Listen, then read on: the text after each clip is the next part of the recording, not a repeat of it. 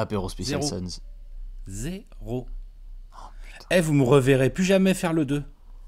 Oh là là là Bam. là là Il y a là des là moments, là. faut savoir arrêter les délires. On arrête le 2 Zéro.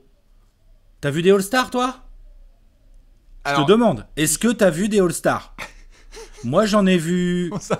J'en ai vu, mais ils avaient pas le maillot des Suns. Ah non, Spencer Dinwiddie, euh, Hall of Fame. Hein. Mon Donc voilà, Dieu zéro. Zéro. Zéro pointé. Je sens que Alex il est chaud. On s'installe tranquillou en vous faisant la bise. Attention que vous soyez fan de Dallas, des Suns, des Bucks ou des Celtics. On a vécu un dimanche de fou. Vous étiez nombreux à vivre le Game 7 entre Boston et Milwaukee. Il y en avait beaucoup qui demandaient si on euh, pouvait commenter le Game 7 entre Phoenix et Ah, Dallas. heureusement qu'on l'a pas commenté. Hein. On Oh a, là on, a, on a bien fait ou on n'a pas bien Ah bah, on se serait fait virer de YouTube, hein, je te le dis. hein. Oh, Ça, je te le dis direct. Hein. Oh là là. Waouh. J'ai même pas regardé le quatrième quart, moi. Ah ouais? Bah non, pourquoi faire? Ah, je suis resté jusqu'au bout. Ça sert à quoi? Ouais. Pourquoi faire? Et je dis même au- à la fin du, du premier quart, on sentait que c'était déjà fini. Terrible. Terrible. Quel scandale Un scandale. C'est terrible, mais c'est surtout un scandale. Eh oui, je suis bien C'est d'accord. un scandale. Et donc avant de laisser Alex partir en freestyle là-dessus, évidemment, pour ceux qui seraient toujours pas atterris sur cette planète Terre, les Suns sont en vacances, sortis en demi-finale de la conférence Ouest face à Dallas après avoir perdu un Game 7 à domicile. Et c'est pas une défaite Mais oui, voilà. peinard à domicile. Voilà, tu dis a perdu, ils ont pas perdu. Sur le score final, il y a 123-90. Franchement, c'est un score final flatteur pour les Suns.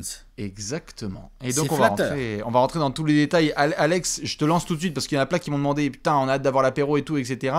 Les, Ah bah ça, les gens, ils aiment le sang. hein. Bah, Ben, rien à sûr. Il y en a eu, il y en a eu pas mal lors de ces Game 7 déjà. hein. Mais bien sûr, et surtout quand ça nous concerne aussi, c'est pas mal. Mais je- je sais pas par, par quoi commencer en fait. J'ai envie de te lancer tout de suite parce que on pourrait faire la chronologie du match, on va revenir sur plein de choses. Ayton, Booker, CP3. Euh, par quoi on commence? Parce que le premier truc qui m'est venu à l'esprit, c'est est-ce qu'on devrait pas d'abord dire que Dallas quand même fait un putain de match en fait, déjà de base? Une putain de série aussi. Tout à fait. Parce qu'en fait, on, on parle euh, que euh, de, de ce Game 7, parce que, bah, évidemment, c'est un Game 7, deux équipes à 3-3, nanana, on, on est en attente, au passage, euh, le genre de soirée de Game 7, un éléphant aussi magnifique accouche d'une aussi petite souris de deux Game 7, Perso, je veux bien chercher, mais je sais pas si on a déjà vécu depuis que Trash Talk existe. Ça- Parce que on, on en reparlera, mais la sortie des Bucks n'est pas belle non plus, hein, rien à voir avec les Suns. hein. Ah, les Suns, enfin, à côté de la sortie des Suns, la sortie des Bucks, elle est magnifique. Ah bah à côté Elle est, ils ont elle été est, elle est belle. serré. elle est- Ah ouais, voilà, c'était serré et ils ont joué. C'est compétitif. Tout à Oui, fait. voilà. Donc, non, non. Mais, je veux dire, là, on a deux Game 7, c'est c'est de la grosse merde. Mais on a deux Game 7, effectivement, parce que les Celtics ont absolument bien géré, on en parlera une autre fois. Mais oui, les Mavs, oui, oui, oui, oui, je suis d'accord, faut rendre hommage tout de suite. Quand même. Et c'est très important, parce que même quand tu te fais humilier, bah, faut savoir être beau joueur. Euh, les Mavs ont fait une grande série. Des Avec, playoffs. Hein. Oh là là. jusqu'à là, de toute façon, maintenant qu'ils sont en finale de conf, c'est sûr, c'est des, c'est des, des très grands playoffs. Ils ont démarré sans Doncic et tout. On en a parlé quand on a fait la preview de cette série. Quand je dis ils ont fait une grande série, c'est que ils ont mieux géré qu'une équipe qui était réputée pour ultra bien gérer. Putain. Donc déjà ça, immense respect. On va parler des joueurs, hein, mais immense respect à Jason Kidd. Jen Kidd et Sean Sweeney, tout à fait euh, assistant Sean Sweeney, bah, défensif. avec son staff, c'est vrai qu'on on cite toujours que le head coach, bon, c'est le jeu, hein, mais oui, bien sûr, il y a Sean Sweeney, mais j'imagine qu'il y a deux, trois autres gars là qui Ah bah. doivent bien s'y connaître en basket aussi. euh, Il y a un Jason copain, je sais Kidd, pas si ça dit quelque chose, Igor Kokoskov, hein. Ouais, ouais, Kokoschkov, bien sûr. qui est bah, sur lui, le banc de Jason là, Kidd, faire- ancien, ancien coach de, Ouais, a de viré. Phoenix. Pour ceux qui On a l'ont pas, évidemment, que Alex, je te rende la parole, euh, Jason Kidd, assistant défensif, Sean Sweeney, qui a eu beaucoup de, de- de- d'applaudissements cette saison pour l'extraordinaire changement d'identité, et Igor Kokoskov, ancien coach des Suns, qui voulait que Phoenix draft Luka Doncic. Et après, maintenant, il est assistant avec Luka Doncic à Dallas. Donc oui, tu le disais, les- le sta- le staff a été énorme. Les, les Mavs ont ont fait une, une très grande série. Il faut bien comprendre que le, après le Game 5, que les Suns réussissent à gagner haut la main, haut la main, hein, malgré un Chris Paul euh, déjà pitoyable, mais on va revenir sur Chris Paul, mais haut la main parce que gros Booker, parce que très bon Ayton, parce que parfait. Crowder, collectif, bonne défense, nanana. On tient les Mavs à, je sais plus, 80 points, je crois, un truc Mhm. comme ça. Et on arrive à planter 110. Il y a eu, derrière, il y a eu un match que les Mavs ont gagné de 27 points, le match 6, Et après, ils sont venus gagner de 33. En Game 6 et Game 7 d'une série de demi-finale de conf, tu te fais outscorer de 60. Pardon. Pardon Numéro 1 de la ligue. et, et, et, et tu te fais outscorer parce que, oui, c'est vrai, les Mavs ont super bien défendu, des bons ajustements, et c'est très malin, et ils font sortir les mecs du match, et ils ciblent les gars qu'il faut de l'autre côté pour les, pour, les, pour les fatiguer et tout machin. Bien sûr, mais, mais, mais les Suns, sur le papier en tout cas, parce que sur le terrain, visiblement, c'était pas le cas, mais sur le papier, avaient les moyens de, de répondre et de s'adapter et de faire chier. T'as la meilleure équipe. Oh, faut pas déconner. Tu vois, donc c'est là aussi où il revient tout le mérite des Mavs c'est qu'ils ont ultra battu une équipe qui, je le maintiens, sur le papier, est plus forte. Même si je pense qu'on sous-estime beaucoup le supporting cast de Luca, quand même, quand même, euh, l'équipe des Suns est, est sur le papier et, et au-dessus. Et quand tu vois la série de Luca Doncic, 32 et quelques points, 10 rebonds, 7 passes, des bons pourcentages, deux interceptions, alors que quand même, il y avait quand même un petit dispositif un peu spécial sur lui. Après, on va reparler de Bridges et tout ça, mais voilà. Mhm. Quand tu vois comment Jalen Brunson se remet bien en route après deux premiers matchs ratés, où il a été en galère, où la défense des Suns l'a bien mis dedans, tu vois. Derrière, les, sur les 5 les, donc de Game 3 à Game 7, il est à, à- à 22 points, 5 rebonds, 3 passes, il a 49% au tir, c'est le deuxième meilleur joueur de la série. Ah Bah, on peut, hein. On peut dire ça côté Dallas, hein. Tu peux te dire, euh, putain, les mecs, Il y a a, Booker vraiment- qui rivalise éventuellement, mais ça manque de régularité, mais sinon c'est c'est Jalen Brunson. Bien sûr, et, et- et ça nous permet évidemment de faire cette boucle Dallas avant que le- le- le- la jauge explose lorsqu'on va reparler des Suns. Parce que c'est vrai que Dallas a fait un gros début de playoff où là ils se sont bien ajustés dans la série, où tu as eu du Dorian Finney-Smith game, on l'a vu mettre des gros 3 points. On attendait l'explosion de Spencer Dinwiddie, elle a eu lieu au meilleur moment. On a eu des apports de la part de certains garçons. Bullock, Kleber, Tout le monde, dire, tout le même monde. Bertans et Dwight Powell, ils Ah ont non, plus mais- apporté que plein de mecs de Phoenix. Bien sûr, tout le monde est au taquet et euh, donc évidemment beaucoup d'hommages qui ont été faits à Jason Kidd. Une des grandes phrases qui revient de la part de Kidd et, et de Luka Doncic, c'est qu'il y a une croyance dans ce groupe et dans ce vestiaire qui est exceptionnelle. C'est-à-dire que ces garçons se ramènent en Game 7 à Phoenix et eux ils le sentent. Ils le sentent que le, le plan de jeu est tellement solide et leur capacité à pouvoir accepter les challenges est tellement énorme que ça leur fait pas peur. Ils suivent Luca qui donne le ton d'entrée et on va en reparler où lui en fait tu sens que voilà il installe la table et il dit les gars on n'est pas là pour craquer, on va les tester mentalement, on a vu ce que ça donné. Et c'est vrai que dans l'histoire des Mavs, parce que souvent Dallas a été une franchise hyper euh, offensive, l'attaque de... On a parlé de tout, hein, toute la philosophie autour de, de Don Nelson, les années Dirk, les années Nash, les années tout ce que tu veux. Je ne crois pas avoir vu un match défensif meilleur de Dallas dans son histoire. On peut revenir sur 2011, éventuellement, mais là, là, le niveau défensif de Dallas sur ce Game 7 et sur cette série, c'est à montrer dans toutes les écoles. Ils ont été sublimes. Je veux dire, on peut ne pas aimer, etc., le basket, mais alors là, le niveau de couverture de Dallas, moi j'ai tout fait derrière l'écran. Hmm, c'est vrai. Non, c'est vrai, ils ont extrêmement Ah, ils bien ont défendu.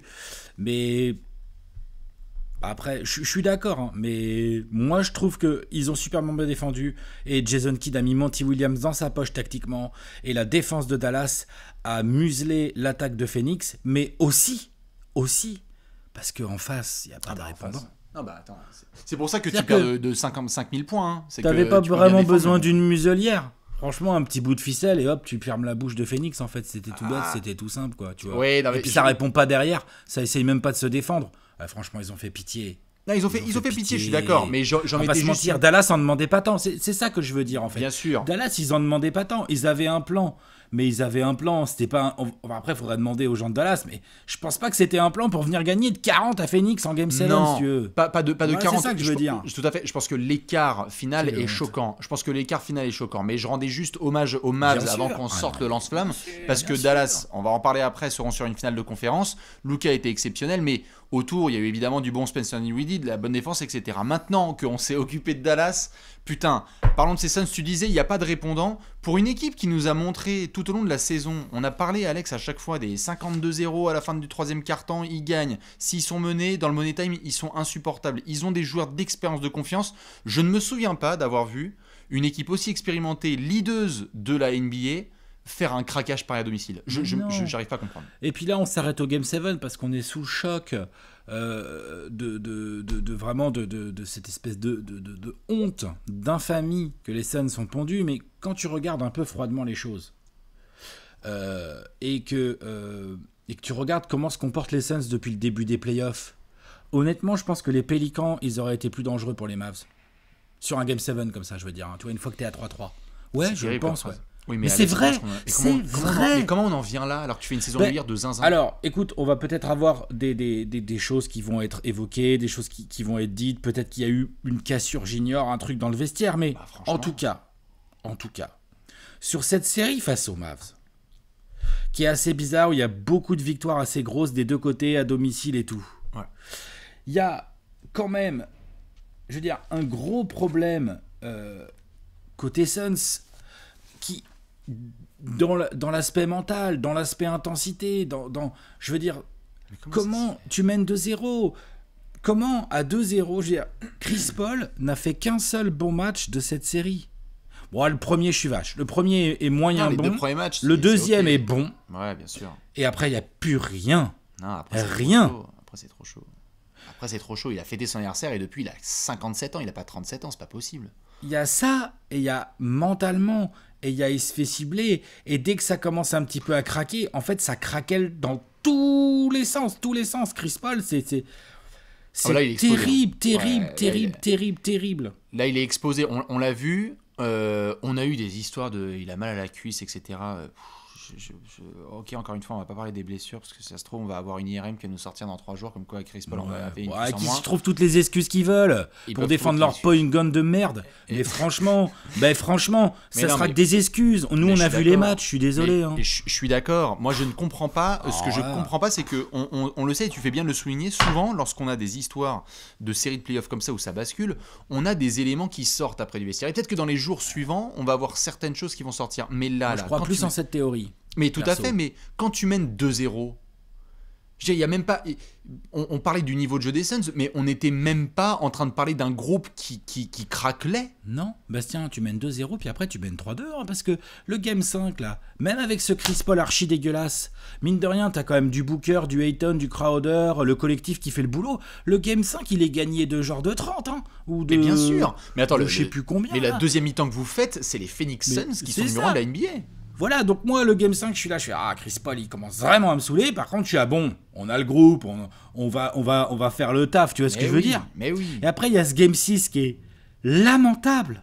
Lamentable, le Game 6. comment Faut vraiment pas l'oublier. Il est lamentable, le Game 6. Il est derrière, quand même, en termes de niveau de Bah, tu lamentable. peux il pas est toucher derrière le Game 7 qui est absolument intouchable. Mais tu sais qu'il il y a des choses qui sont pas si loin.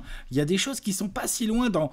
Ah, dans le score, euh, non, le Game 7 est intouchable, mais dans l'attitude, dans ce qui se passe dans les faits, dans les possessions, il y a des choses qui sont pas si loin. Parce qu'en fait, là, sur ce Game 7, tu as tous les éléments qui se sont écrasés sur Phoenix au même moment. Doncic était chaud. Doncic a mis ses premiers paniers. Dinwiddie, c'était, c'était, c'était, c'était Ray Allen mélangé avec Michael Jordan. Voilà, leur défense était trop en place. Kleber, il fait des contres sur les contre-attaques et tout. Enfin, il y a tout qui se mélange. Et en même temps, il y a le body language des Suns, qui est une absolue catastrophe. Il y a Devin Booker qui rentre pas un shoot. Lui, à la limite, en première mi-temps, au moins, en tout cas, il essaye d'attaquer le cercle et tout. Lui et il Crowder. Ah oui. Parce que c'est les têtes de cons, c'est les mecs qui lâchent pas trop et tout. Mais enfin, ils finissent par lâcher quand même, parce que voilà. Mais. Ce qu'a fait Chris Paul. Ouais, vas-y, sortez-moi les excuses de blessure et tout, machin. Mais Oh, scandaleux. Revenez pas me voir en me parlant de top 10 all-time meneur ou de point god ou de machin. Parce qu'en fait, le talent, il l'a. Personne dit le contraire. Ah, il fait des pures passes. Et puis c'est vrai que ah, je me rappelle contre les Kings, ah, il a fait 15 passes, il a pas perdu un ballon. Ouais. Non, mais en, playoff, Mais pourquoi faire? Pourquoi faire? Tu te rends compte que ce mec, sur ses, sur ses 6 derniers Game 7, il n'en a pas gagné un? Non, non, mais c'est que trop- ce mec, c'est la cinquième fois en série dont, avec une franchise dont il est un peu le boss, quoi, tu vois. Parce que là, il est peut-être le co-boss avec Booker, on va pas se mentir, mais c'est lui le vétéran d'expérience, machin et tout, qu'il est mené il mène 2-0 et il perd. Parce que quand l'adversaire reprend le dessus mentalement, Chris Paul, il se cache, il se cache. On a, tout à fait, on a, on a été, on a été clair. Vous savez que j'aime pas utiliser cette expression parce que c'est une fois par an, mais alors là, par contre, c'est cadeau, c'est pour lui. hein. On a dit que Paul George c'était une trompette lorsqu'il y avait eu les histoires avec les Clippers. Chris Paul, euh, Voilà, c'est grosse trompette. c'est hein. plus qu'une trompette, c'est un orchestre. Chris, Chris Paul, c'est trompette. Hop, l'étiquette, elle est, elle est mise. Euh, il avait fait. Tu te rends compte, Bastien avait- Excuse-moi, je te coupe un truc. Juste la stat qui m'énerve le plus sur Chris Paul dans cette série. il est à 5 55% au tir dans cette série. Ça veut dire que le mec prend même pas de risque, tellement il se cache.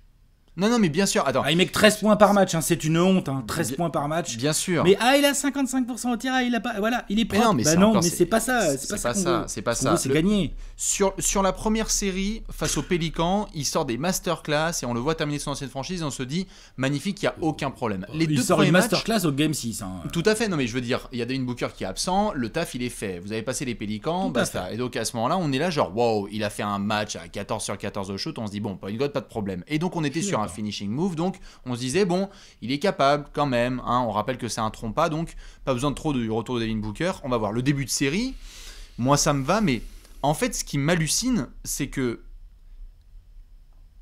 je ne peux pas concevoir là qu'on puisse mettre dans la même catégorie les Phoenix Suns de Monty Williams, Chris Paul, Jay Crowder, finalistes sortants, tous les mecs d'expérience, les Javal Magui, etc., avec les mêmes punchlines que pour les Doc Rivers, Joel Embiid, James Harden et compagnie, mec. Bah si. On est en train de les mettre dans la même catégorie parce que y a là, pas de là, raison. Hein. Y a pas. c'est un- même. C'est un niveau même dans une catégorie en dessous. Alors après, évidemment, c'est sur un match parce que là, là non, c'est non, chaud. mais- même sur la série. mais ils sur sont la série, favoris. bien sûr, bien sûr. Ah non, mais non, mais on Rivers peut- et- on peut- on peut- et- et- et les Sixers, pour moi, ils n'étaient pas favoris. Ils face étaient à favoris, ce c'est pour ça que c'est un choke véritable de votre part, et c'est sûr, c'est indéniable. C'est un gros choke de la part des Suns après une saison pareille où t'as c'est quand même choke. 64 victoires.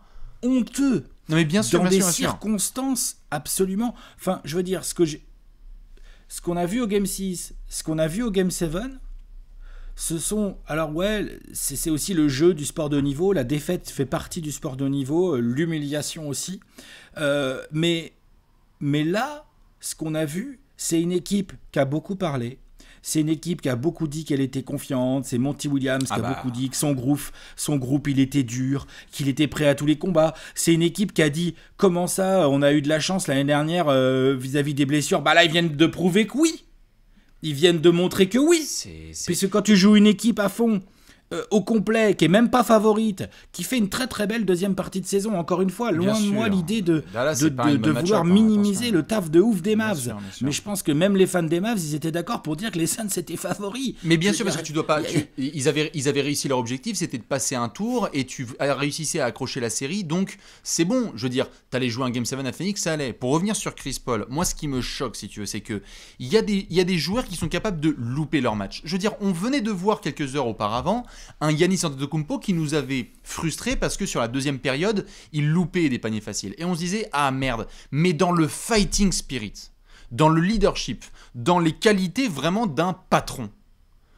Là, Chris Paul, comme tu l'as dit, c'est caché. Enfin, t'avais l'impression qu'ils que se cachent il voulait depuis ab- 5 matchs. il voulait depuis absolument pas tout matchs, il ne voulait pas du tout être sur le parquet. Et quand on voit des séquences, quand j'ai revu le replay là ce matin, parce que j'ai eu le match en direct, je me suis fait replay, je me suis dit attends, attends, replay attends, de ça, toi Mais Wow. bien sûr, parce que attends, de voir un jamais de joueur. replay de ça de toute ma vie. moi. Ah bah je sais, mais de voir un joueur de catégorie all-time, on n'arrête pas d'en parler, on se dit quand même c'est extraordinaire, ou derrière, dans un, dans un événement pareil, où il est favori, où on doit compter sur lui, où des remontées de balles, il traîne les pieds, j'en ai rien à foutre, c'est, comme tu l'as dit, c'est honteux, c'est scandaleux, et c'est inadmissible. inadmissible. Et pour le coup, après on va parler des autres garçons, parce que Ah oui, il y, oui, il y en a oui, oui. plein qui sont responsables, mais ça part quand même du trompas. Et on n'a pas arrêté sûr. de mettre du Chris Paul dans les discussions de MVP et dans tout ça, et de voir que derrière, tu l'as dit, il y a du Devin Booker qui essaie d'être agressif, qui veut provoquer la deuxième faute de Luca. Il y a Jay Crowder qui essaye, mais que derrière, tous les garçons cherchent le patron et qu'il se passe rien.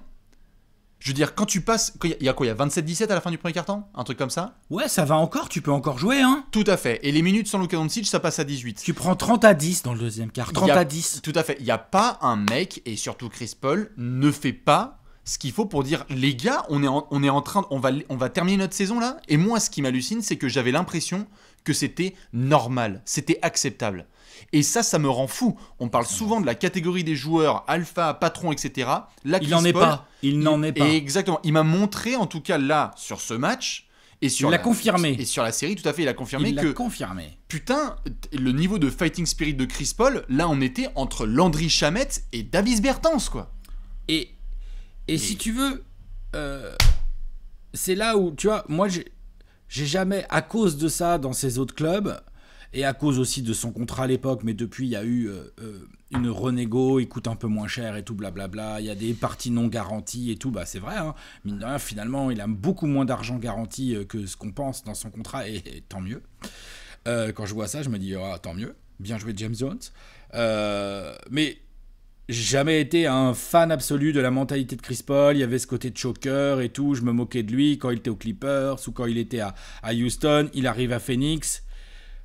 Ce qui me rend le limite le plus triste, c'est il était en train, en cours, de fermage de bouche totale. C'est-à-dire, j'étais en train de me dire, waouh, quand même. Ah là là, j'ai quand même beaucoup dénigré ce mec.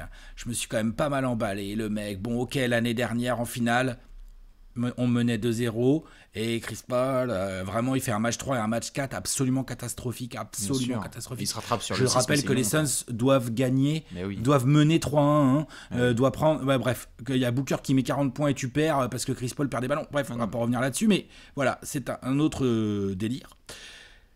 Mais je l'avais digéré, on était quand même allé en finale NBA, merde, quoi, c'était c'était beau, quoi, c'était incroyable. Et puis cette année, 64 wins, incroyable. Et là, ça recommence, en fait. Putain. Et donc, quelque part au fond de moi, il y a une petite voix qui me dit Mais en fait, c'est un loser.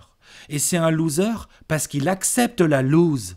Ça, Parce chaud. que il s'en contente, parce qu'il se bat pas, parce qu'il baisse les yeux dès que c'est dur. Putain, mais en fait, enfin, je veux dire, Chris Paul dans cette série, mais même à Dallas, il est pas à titulaire. Dallas, à Dallas, à Dallas, ouais, à Dal- à il Dallas, est pas titulaire. à Dallas, Il- euh, il, a pris il- des histoires de six fautes là, c'était, c'était un, un- il était Non, même quand je dis sérieux, Dallas, en fait. même dans l'effectif des Mavs, il n'est pas titulaire. Ah oui, bien sûr, bien sûr. Non, non, mais après, si, quand même, il reste titulaire, mais, Non, mais il a pas le niveau là sur le game 6 et le game 7. Il a Bon, pas le sur- niveau pour être titulaire. sur le game 6 et le Non. game 7, bien sûr. Mais, Mais même, vrai que... et, pff, même, regarde, rappelle-toi le, le game 3, 12 points, 7 pertes de balles, il se Non, bat pas plus sûr. que ça. Il Les- prend que 9 tirs. Il n'a pas pris 10 tirs depuis le game 2. Non mais bien sûr, Il a la- rien le, foutu. le- le niveau de production derrière et de concentration, parce qu'encore une fois, des, des joueurs qui, des joueurs qui sont bien défendus et qui craquent. C'est-à-dire que là, par exemple, on vient de voir euh, Trae Young qui a fait caca euh, face au, au Heat, et moi j'étais premier à dire, bon voilà, trop bien défendu, etc. Mais alors s'il y en a bien un qui essayé de se retrousser les manches et qui disait, putain les gars, moi je vais foncer au mastic, même si je me fais découper par PJ Tucker, Bam Adebayo et compagnie, c'était lui. On a des garçons comme ça qui acceptent d'aller jusqu'au bout, de mettre la tête là où personne ne mettrait l'orteil. Et là, la Chris Paul, on a l'impression de revivre. Là, là, ce dont on discutait il y a un an, il y a deux ans, il y a trois ans, le running gag, on aborde la soirée, on parlait avec la FF Loose, on était en mode putain, euh, attention, si là, non seulement Phoenix meurt, mais qu'en plus, Chris Paul fait n'importe quoi, mais c'est chaud, et derrière, tous les autres ont suivi. Parce que j'ai envie, Alex, d'enchaîner après sur DeAndre Ayton. DeAndre Ayton, là, on va Il se veut le retrouver- max. Et on va se retrouver dans une situation de, de négociation Eh. contre un max. N'importe Là, là, quoi. pour cet été, on rappelle donc que DeAndre Ayton va être agent libre restreint, donc Phoenix peut matcher tout ce qu'il faut. Euh, en septembre dernier, il y avait une négociation qui était un petit peu houleuse. Et donc là, si je dis pas de bêtises, je te laisse confirmer, mais Monty Williams, interrogé en deuxième mi-temps, quand on lui demande pourquoi est-ce qu'il n'a pas joué plus, il dit c'est une affaire interne. Enfin, je veux dire, il y a un truc qui va sortir qui pue la merde là. Bah attends, il s'est déjà sorti là, l'autre il glande, il va jouer à la console la nuit et tout, c'est c'est pas un mec sérieux. Et ça se voit sur le terrain, ça explique sa softitude, il a un talent fou, c'est un physique incroyable, mais il est pas sérieux. Il n'est pas sérieux. Ça fait C'est beaucoup de tout. mecs pas sérieux quand même. hein. Bah ouais, mais en fait, ils ont fait illusion là pendant cette régulière. En playoff l'année dernière, il s'est passé un vrai truc. On les... Dans des matchs importants, ils ont sorti les gros trucs qu'il fallait et tout. Ok, très bien, mais en fait, là, dans l'adversité, quand ça glisse un peu co- pas comme il faut, Booker qui se blesse un peu, ou une équipe comme les Pélicans qui te joue physique, ou une équipe comme les Mavs qui te joue tactique et rugueux, hein, avec un Luka Doncic impressionnant. Mais quoi, Luka Doncic impressionnant, c'est pas une surprise, ça. Hein, faut arrêter de déconner non plus. Donc, oui, DeAndre Ayton, il a fait quelques gros games d'un point de vue statistique, mais ce qui est sûr, c'est que quand son équipe a eu besoin d'un combattant, il a jamais été là. Non, non, il a pas été là, il a jamais, à là. aucun moment. Ah, il s'est fait outplay moment. par Clever, et, et- alors qu'on parlait en preview qu'il devait dominer dans la raquette. hein. Il m'a fait honte. Franchement, c'est. Moins que Chris Paul, mais il m'a fait honte quand même. Mais ouais, parce que tu Et sais après, ton- ça va être là, ouais, je mérite le max, nanana. Mais Là, c'est ton, c'est ton, c'est ton, c'est ton pivot où tu es censé compter sur lui, ou c'était toutes les histoires de, de duo Booker plus Ayton à entourer autour. Et, et là, là, cette disparition, quelque part, je sais qu'il y en a qui vont en mettre aussi sur la gueule de Devin Booker parce que oui, Bien sûr, beaucoup- mais attends, bien sûr. Il y a eu beaucoup de chouinades, il y a eu des tirs qui ont été loupés. Il s'est quand même battu. C'est-à-dire que s'il y en a bien un qui essaye un minimum de hisser la caravane, c'est Book. Quand même. Bah disons que Book, lui, à la différence de Chris Paul, c'est quand ça va mal, notamment, je sais pas moi, euh, par exemple le, Game 5 où- qu'on gagne euh, de- très largement côté Phoenix, hein, de au moins 30 points, je ouais, crois. un truc ouais. comme ça, c'est la deuxième ça. tsunami. ouais. Euh, je veux dire, Chris Paul, il est à 7 points, 4 pertes de balles hein, dans ce match. hein. Il ne prend que 8 tirs. D'accord? Pardon? C'est ça notre bac courte? Oh, tu te rappelles dans la preview j'avais euh, j'avais euh, mis en tactico-technique, dis donc, j'avais mis la bataille des bacs courtes. hein. J'ai jamais, j'ai rarement été aussi bien inspiré, enfin bien, mal. Mal. Voilà. Mais je disais oui, il faut que ça se batte et tout, parce que Jalen Bronson, ça va être une autre chanson pour lui. Hein, ça va pas être pareil que face. Aussi, tranquille, Jalen Bronson au calme. Le meilleur arrière, c'est Luka Doncic. Ça, c'était le meilleur joueur de la série. Euh, franchement, je pense que pas mal de gens étaient d'accord pour le dire avant la série. Ouais. Mais je pensais quand même que euh, Phoenix pouvait avoir le meilleur backcourt. Et Mais c'est ben ça non. qui me choque. Eh ça qui me ben choque, c'est que tu non. peux- tu peux, Alors- pas faire, tu peux pas faire toute la saison que tu as fait. On a fait des comparos avec les Spurs de la belle année. On a fait. Putain, on les a vus. Vous avez un bilan à l'extérieur. Je n'ai. Je sais pas si j'ai vu une équipe qui coche autant de cases. Avant les playoffs, on s'est regardé, Alex. On a dit il faudrait des blessures pour vous empêcher d'aller jusqu'au bout. Bah, même pas. non, en fait. Même pas. Mais Même pas. Donc c'est pour ça que je te dis, je pense qu'il va y avoir des choses qui vont sortir. Je pense que Monty Ah, Williams, il y a des choses qui. hein. Comment? Tu peux pas partir avec le même groupe. Hein. Écoute, on verra déjà en fonction de ce qui sort et ce qui se dit. Non, mais en fait, attends, Bastien, bien évidemment, là je suis à chaud. hein, C'était la nuit dernière, on n'a pas beaucoup dormi encore et tout. Tu me demandes, hey, je te dis Ayton, il va se faire foutre aux Bahamas. je te dis Chris Paul, je veux plus jamais le voir à Phoenix. Ah, On, on reprend que Booker, hein, parce que euh, on garde Michael Bridges, mais il a intérêt de ça, muscler son jeu. On va en parler aussi de ça. Euh, mais euh, voilà, on garde Crowder parce que oh, il, lui, au moins il fait honneur au maillot Ah bah, et il, a tout le sa, reste il a fait sa série. ça hein. Putain. dégage. Tout le reste, ça dégage. Parce que à Campaign, et Campaign, pourquoi il a fait la contraste? Pourquoi faire? Ah bah là, Pourquoi faire? Le seul remplaçant potable, c'est Cam Johnson. Sur Cam série. Johnson, tout à fait. Et même quelque part, il y a eu quelques minutes de Landry Chamette qui ont été meilleurs que tous vos autres remplaçants. hein. Ouais, ouais, ouais, tout à fait. À partir du moment où tu mets un shoot, de toute façon, déjà, c'est meilleur déjà- que tous nos remplaçants. C'est de la prod, tout à fait. On Voilà. avait quelques minutes de Biombo dans le game 5 qui a bien aidé Oui, quand Ayton oui, avait non, des problèmes de faute. Mais c'est vrai qu'à chaud, à chaud, t'as le sentiment quand même qu'il va y avoir des trucs qui vont sortir sur Ayton parce que tu es contractuellement avec Devin Booker Chris et Chris Paul Paul. aussi, hein. Oui, mais ils vont. Je veux dire, tu vas pas. Chris tu Paul, vas il pas en a eu des problèmes de vestiaire hein, dans sa Tout à carrière. fait. Il en a eu des, des rumeurs sur lui, d'anciens coéquipiers qu'on dit sûr, sûr. Chris Paul, c'était pas évident dans le vestiaire, gna gna gna. Je veux bien voir. Hein. Ça, Non, mais c'est moi, je sûr. pense que c'est un truc comme ça. Il y a une cassure. Mais je, je suis d'accord. parce que ça expliquerait au moins des choses. C'est pour ça que sur le dossier Eaton, je suis assez dubitatif comme beaucoup de gens parce que là, là, t'as l'impression qu'en plus, c'est pas comme s'il avait été baqué à fond par ses coéquipiers euh, dans la foulée. C'est-à-dire qu'il suffit de voir la conférence de presse de Devin Booker pour se rendre compte qu'en fait, dès que ça parle du contrat d'Ayton, bah. pff, T'as le choix, hein, tu peux soit baquer à fond, soit dire genre bah euh, ouais, euh, on verra comment ça se passe, euh, etc. Bon, ok. Moi j'avoue que je suis complètement halluciné. On, on a beaucoup tendance à protéger Monty Williams, mais le coach de l'année n'a pas fait les ajustements qu'il fallait. Non. Alors après, alors clairement pas. Il tu a t'es fait outplay par Jason Kidd, hein, putain. Oui, tout à fait. Ça, c'est indéniable. Par contre, pour le coup, là, moi, je sais pas que. Enfin, si, je vais défendre mon petit, tiens. Tu sais quoi, je vais le défendre. Pourquoi je le défends? Parce que je suis d'accord pour dire que c'est fait outplay par Jason Kidd, qu'il a bien mis dans sa popoche au show. Par contre, quand ton meneur, futur Hall of Famer, gna point de god de je sais pas quoi, là, de je sais pas quel sport, il est point de god, quand il joue comme ça, ah, c'est compliqué de faire des ajustements parce mais qu'en fait, t'as trop de systèmes offensifs qui dépendent de lui. Donc après, t'as Booker qui, se, Booker qui se bat, mais qui est pas assez régulier, qui parle peut-être un peu trop et qui rentre peut-être pas assez de tirs, tu vois, ou qui fait peut-être pas assez de bons choix. Comment? Oui, oui, non mais je suis d'accord, mais enfin son match 6 n'est pas bon, et son match 7 n'est pas bon du tout et horrible. Il rate tous ses tirs. Pas, là où parfois on l'avait vu lors, euh, contre, pardon, dans le match 5 ou l'année dernière en playoff, où Phoenix prenait l'eau, Phoenix n'arrivait pas à scorer et Booker sortait un peu sa cape à la Kobe euh, et nous gardait dans le match. Bah oui. Là, non. Donc on va pas quand même non plus rien dire sur Booker. Moi je suis désolé, Booker il a été nul à chier au game 6 et plus que nul à chier au game 7. Il faut le dire. Il n'y a pas de problème et je pense qu'il serait, il serait là, il serait d'accord, il dirait oui c'est vrai.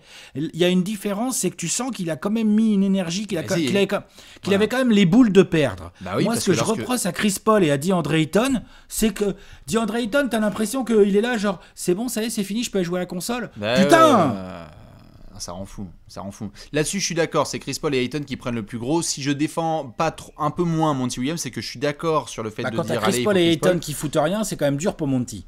Tout à C'est ça fait. que je veux dire en fait. Mais quand tu es à moins 30 à la mi-temps et que la première chose qui se passe en sortie de vestiaire, c'est que tu prends un 10-0, c'est que ton coach, il a pas son groupe à ce moment-là dans le vestiaire. je suis d'accord, mais je pense Quand qu'à moins te prends 30 à la mi-temps, ça, Bastien, je pense qu'à moins 30 à la mi-temps, le match était fini. Je vais te dire, moi, tu regarderas dans mes tweets, tu regarderas dans mes tweets. hein.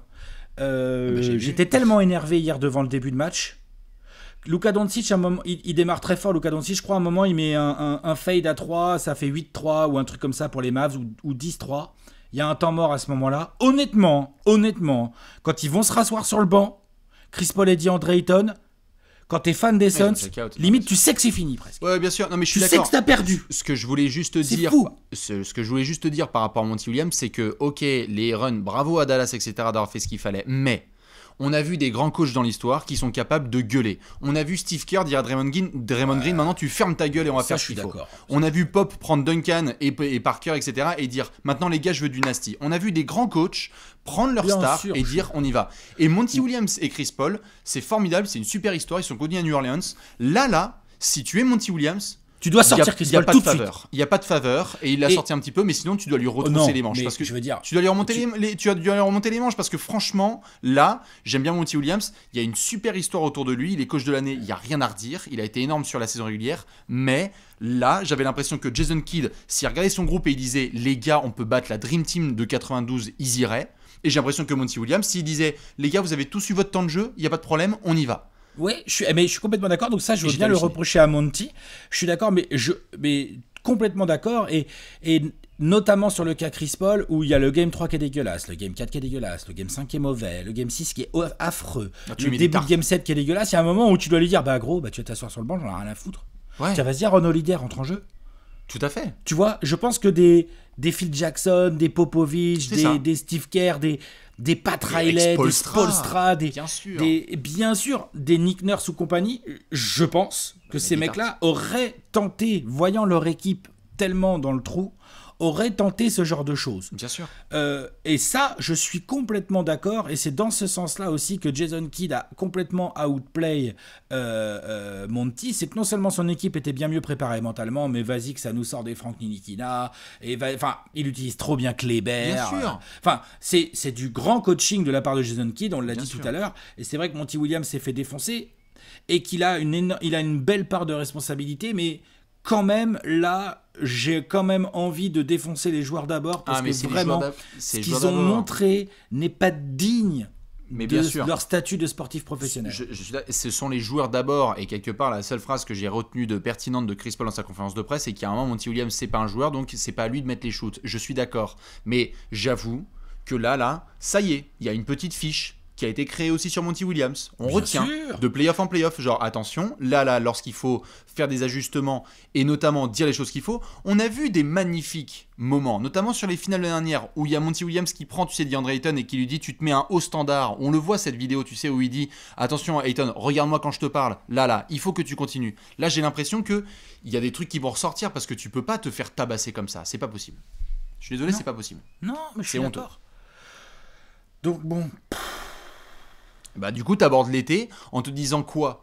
Alors on va y retourner, on va encore faire une grande régulière, mais qu'est-ce qu'on va dire cette fois? Parce que là, là, on s'est foutu de la gueule, toi et moi, d'Anthony Davis, de toute la fanbase des Lakers, en disant les mecs arrêtez pas de dire euh, si on n'était pas blessé, etc. Bah aujourd'hui, je pense qu'ils peuvent sortir les giga trompettes et dire Bah, euh, les mecs, ouais. euh, bah la preuve. Et même les Nuggets, ils peuvent avoir le seum. hein. Parce qu'avec Jamal Murray, les Nuggets de Jokic, ils mettent la race à ces, Spurs, à ces Suns-là. C'est sûr. C'est, En tout cas, sur le papier, en tout cas, parce qu'après, on voit bien que entre le papier et le terrain, il y a une sacrée marge. Mais je veux dire, le gros problème de ces Suns, c'est que ils n'ont rien fait et ils se comportent comme s'ils étaient déjà arrivés. Ça. Et ça, c'est insupportable.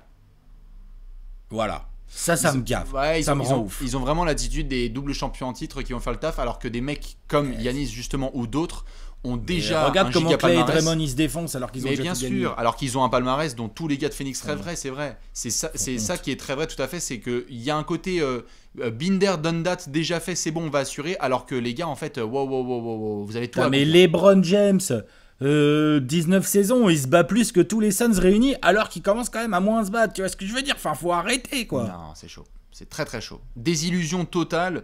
Euh, le choc est encore immense parce qu'en plus, on parlerait d'une, encore une fois, on parlerait d'une défaite sur un shoot au buzzer en money time raté, ok, mais là, il n'y a même pas eu match. Là, Ça a- serait a- déjà plus facile à avaler. hein. Mais bien sûr, mais là, là, il y a, là, il y a 48 minutes de, de démolition. Je veux dire, le, du quatrième quart-temps, c'est un mensonge total. Bah, Déjà, le Ah, Game 6, c'était. C'était très violent. Annonciateur. Moi, c'est pour ça hein, que j'étais pas non plus. Je disais les Suns sont favoris et tout.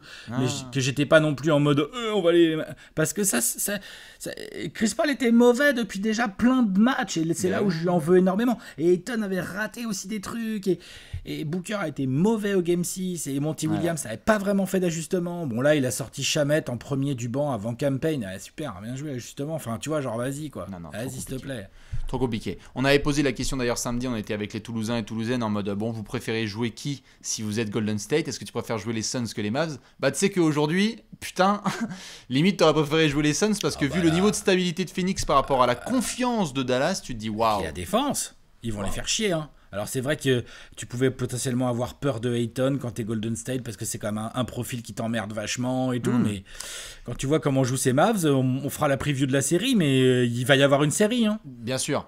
La, la- la phrase suivante, tu me dis si tu es d'accord et si, et si les gens sont, sont d'accord ou pas ou si on la modifie. On a parlé du fait que Boston avait battu Milwaukee sur une série en 7 et que la meilleure équipe l'avait emporté au final. Mmh. Mmh. Est-ce qu'on peut dire que c'est plutôt l'équipe la plus solide? Qui a gagné entre Phoenix et Dallas Parce que la meilleure équipe, c'est pas Dallas qui l'a, Alex. Bah, on joue sur les mots, hein, mais c'est la meilleure équipe qui a gagné. C'est la, la- une équipe. C'est pas que le papier, les Ah, joueurs et la fait, tactique, c'est aussi le mental. Bien sûr. aussi- Donc moi, je, je trouve que, euh, je, je trouve que, en tout cas, sur ces sept matchs, la meilleure des deux équipes l'a emporté. Ah. Celle qui l'a plus voulu, Et celle qui était le mieux voulu, préparée, celle qui a le mieux défendu, celle qui avait le meilleur joueur dans son groupe. Enfin, tu vois, à un moment donné, euh, il n'y a pas de problème. Moi, je suis désolé. Voilà, la meilleure équipe a gagné. La meilleure équipe, c'était les Mavericks. Phoenix sort en 7. On reparlera de celle-là, hein, vraiment un Game 7 perdu à domicile. On avait euh, malheureusement pas mal chargé les Sixers l'année dernière après leur choke contre Atlanta en Game 7 à domicile. C'est l'été des Suns, là, Alex. Je suis désolé, mais on va en reparler pendant quelques temps. Parce que là, là, Bah c'est ouais, bah c'est normal. moi, moi-même, je serais le premier à. Enfin, je veux dire, moi, je suis un fan des Suns, mais je veux dire, il y a un moment donné, tu es obligé de regarder les choses. Donc, tu as ton côté fan où tu te sens humilié presque autant que les joueurs.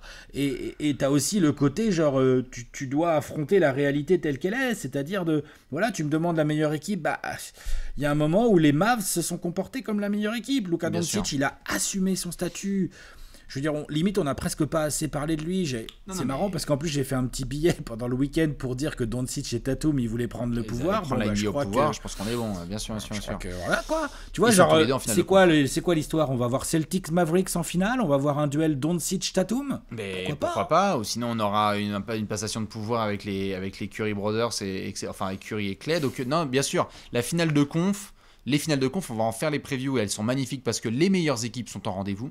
Très clairement, on n'a pas l'impression qu'il y a quelqu'un qui est frauduleux là-dedans. Alors, euh, désolé pour les Suns, on aurait bien aimé Suns Ah Warriors, mais là, Les très Suns clairement, sont. Tu sais quoi la fraude C'est les Suns Eh qui ben, sont tout à une fait. fraude. tout à fait. Suns, tu vois, on emploie le mot fraude pour dire que tu trompes. Tu trompes le. Mais J'allais dire le client. C'est un peu ce qu'on est en tant que fan. hein. Ben Ah oui. bah là, là, là. Il y a C'est des gens qui ont payé leur billet hier soir. hein. une fraude, exactement. Il Et il y, a- payé, hein. et il y a des gens que, enfin, il y avait, euh, je voyais genre, euh, j'ai vu, qu'est-ce que j'ai vu comme réaction? C'était quel, mince, c'était quel observateur des Suns qui dit quand même, ils se font huer à la mi-temps, mais un peu qu'ils Ah, se font huer à la mi-temps, qu'est-ce qu'ils racontent? Arrêtez. Bien sûr qu'ils se font huer. J'espère bien qu'ils se font huer, putain. Putain, mais enfin, franchement, j'aurais été au stade, je serais, je serais parti à la mi-temps. Ah, mais non, mais t'aurais pas. tu pas- rentres, tu vas dîner, tu vas dîner. Pouah, tu Et je peux te dire que, eh, tu, ouais, exactement, tu vas dîner euh, liquide, pas, si vous voyez ce que je veux dire. Complètement. Non, non, non, ouais. c'était- très compliqué. Euh. Dites-nous évidemment ce que vous pensez de tout ça. Je vais terminer avec une dernière question. On va se renvoyer un peu la balle, Alex. On est à chaud, certes, mais là, en trois, trois étapes, les trois premiers trucs qui viennent à l'esprit pour euh, cet été-là. T'es Phoenix, tu fais quoi? Ah, c'est chaud parce que. là, Bah suis ouais, mais on est à chaud. J'ai pas eu le temps de. Non, non, mais je tu pense vois, que, bah, genre- tu sais quoi, les trois premiers trucs, donc déjà là, tu sais quoi, là, on est donc mi-mai, pardon. Euh, pendant un mois, là, tu fais rien. Tu laisses. Tu digères. Tu vas à Cancun, là, faire le kéké, là, aller rejoindre les mecs qui sont déjà éliminés, là, qui, eux, voilà.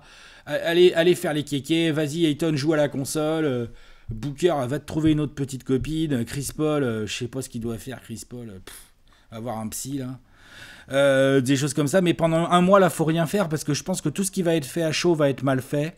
Parce que là, il y a trop de, il y a trop de haine, il y a trop de tristesse, il y a, il y a- il y a trop de sentiments comme ça qui sont mauvais dans une prise de décision. Donc pour moi, le premier truc à faire, c'est de rien faire pendant un mois. Après, il faudra, après, il faudra s'occuper du Kaiton. Ensuite, Très exactement, va arriver la période pré-draft. Bon, je pense pas que les Suns, il faudra regarder les pics, mais tu vois, les Suns, avec le bilan qu'ils ont, enfin, de toute façon, ils vont pas avoir un haut pic de draft a priori. hein. Donc, va arriver la période pré-draft et la période pré-transfert, où là, va falloir réfléchir à qu'est-ce qu'on fait autour de DeAndre Ayton. Parce que sinon, un Booker, Chris Paul, tout ça, c'est sous contrat. Bridges, c'est sous contrat. Enfin, Crowder aussi, euh, bon, Campaign aussi, malheureusement. Et dans le côté qu'est-ce qu'on fait pour Ayton, il va y avoir le côté qu'est-ce qu'on veut comme groupe? Qu'est-ce qu'on veut comme groupe? Moi, je veux bien que je te suis sur ces axes-là. Et on reparlera du contrat d'Ayton, mais je lâche, je suis désolé, hein, il y a un chef d'orchestre, je ne lâche pas le steak. Monty Williams, je suis d'accord, si tu veux, tu laisses un mois les gars, mais ensuite, j'appelle chacun des gars, je dis t'es où, et viens, on va discuter. Ah Attends, oui. anti mais ça, Williams. tu, tu et peux le pendant faire pendant un mois, là, mois. je les laisse tranquilles et je fais Ok, c'est quoi, Chris Paul Tu es où? Le, le 17 juin Ouais, juste premier texto là. J'espère que ça va, que c'est vrai que t'as fait tes trucs. Où est-ce que tu es? Je prends le premier avion, on va discuter ensemble. Qu'est-ce que tu veux la saison prochaine? Où est-ce que tu veux être situé dans les plus grands joueurs de l'histoire? Regarde-moi quand je te parle. En fait, Ou qu'est-ce que tu dois faire? Attends, je je termine. Ouais, si tu veux en effet te retrouver parmi les légendes des meneurs, si tu veux enlever cette étiquette de merde que tu as collée à ton col, il va falloir que tu sois présent. Qu'on sorte pas ces histoires de cuisses. Moi, je vais prendre le premier des balles si tu veux en conférence de presse, mais toi, il va falloir que tu assures, frère. Parce qu'il y en a qui ont les dents longues. hein. Des Booker, etc., ils vont se ramener, ils vont être au taquet. Mais alors, toi, tu peux pas nous refaire ça. Et c'est un avion qui prend pour tous les autres joueurs de l'équipe. Il faut aller voir chacun et savoir quelles sont vraiment vos envies, les gars. Est-ce que vous il y voulez a une faire discussion de groupe aussi à avoir. hein. et après, une discussion de groupe totalement. Une fois que tout le monde est revenu, t'es bien bronzé, basta, on retourne à l'entraînement. Mais qu'est-ce qu'on veut faire? Pat Riley, tous les grands coachs comme ça sont revenus lorsqu'il y a eu des grosses défaites, des grosses désillusions. Tu y retournes. Pop, c'est le premier. Putain, après la galère qu'il y a eu contre Ray Allen, les mecs, ils retournent au camp d'entraînement, ils font genre, on laisse de la place. Trauma total.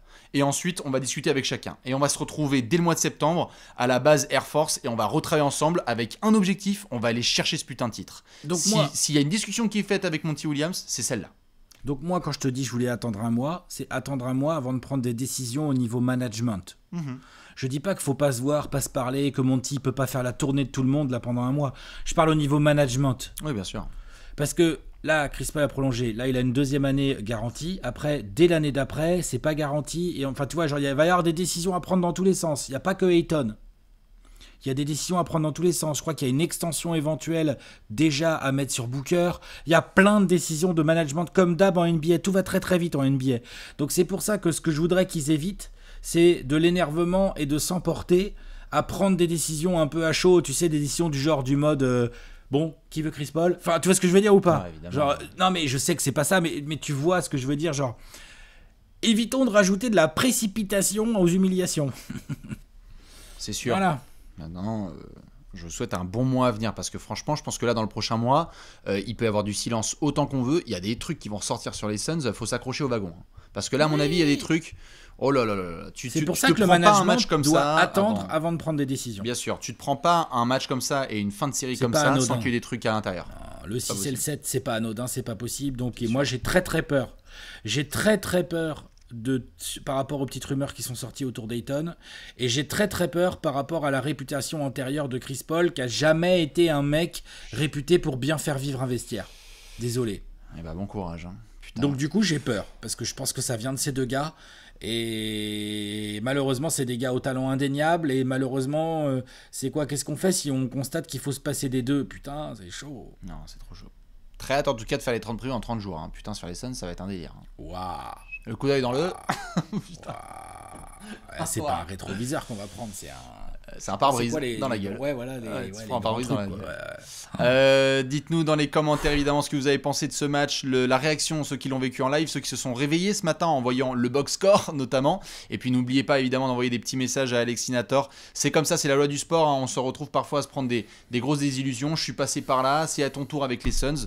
Euh, va falloir, va falloir revenir fort la saison prochaine. Oui, bien sûr. Tout simplement. simplement. Moi, je vais m'en remettre très très vite. hein. Je vais digérer mon somme et puis après, on passera à autre chose. Il y a des super finales de conf qui attendent. Franchement, ça va aller tout seul. Exactement. Et sur ce, on vous fait des bisous, on vous attend dans les commentaires et on se retrouve très vite pour les previews des finales de conférence. À la prochaine. Ciao Ciao.